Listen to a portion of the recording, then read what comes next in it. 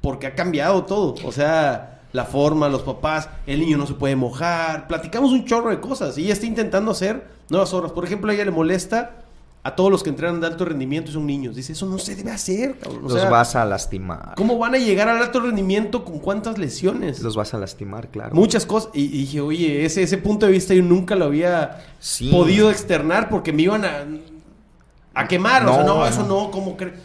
Oye, es que no debe. Un niño de 7 años no puede tocar la guitarra como, como Paco y Lucía. No está bien. Sí, claro. A sus 35, ¿cómo va a tener los tendones? Eh, eh, es que es correcto. Fíjate que eh, está bien. Ha cambiado la formación de todos los atletas, eh, de todos los deportes. No, no se puede seguir haciendo Lo mismo que antes. Hace 20, 30, Ni la 40 calistenia es igual. Sí, claro. eh, Eso, yo, yo en eso estoy totalmente de acuerdo. Eso, mira, no hay discusión. Platicaba el otro día, la semana pasada me fui a tomar un café con un entrenador de box, Oscar Santamaría, muy amigo mío. Obviamente entrenador de boxeo, compartimos una gran pasión. Y tiene un gimnasio y veía cómo entrenaba a su gente, ¿no? Estuve un ratillo ahí con él y le decía, oye, ¿por qué no hacen esto? ¿Por qué no haces lo que hacíamos nosotros? Sí. Y me dices que ya cambió. Sí. Y digo, ¿cómo? Sí, ya, ya, ya, ya cambió, me dice. Y, y- y te empieza a explicar. Y este chavo ha tomado cursos y dices, oye. Y bueno, llegué a la casa y dije, a ver.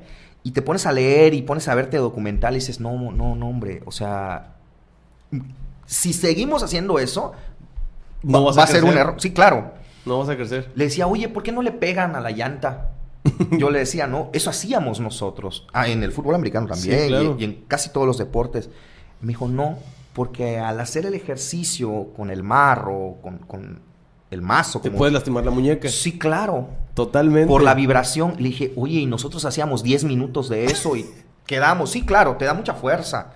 Pero, eh, ¿Pero qué es lo que más cuidas? claro, tus manos, tus muñecas, sí es cierto, efectivamente, pegabas durísimo y ¡prac! Sí. Y me dice, no, ya cambió. Ahora hay tal ejercicio tal, y, y- y funciona igual. ¿Te acuerdas, por ejemplo, que antes se, se calentaba para pegar? Bueno, para empezar se pegaba con el casco. Y que te ponías como exorcista y estirabas tu cuello. Sí, claro, hacia arriba. Eso no se hace, o sea, te, te puedes quedar ahí. Sí, claro. O sea, Sí. hay muchas cosas. Ha cambiado, ¿no? Muchas cosas. Yo creo que eh, las técnicas, los, no sé, los ejercicios han cambiado.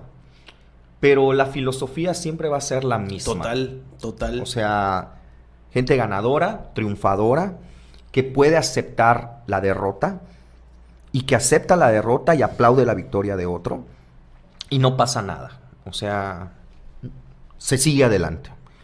Las técnicas de entrenamiento, está bien que cambien, no pasa nada, pero la, La filosofía, tiene que ser Tienes la mucha razón misma. en eso.